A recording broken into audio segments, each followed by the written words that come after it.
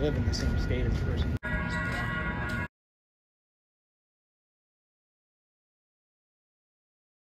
Whether me or you,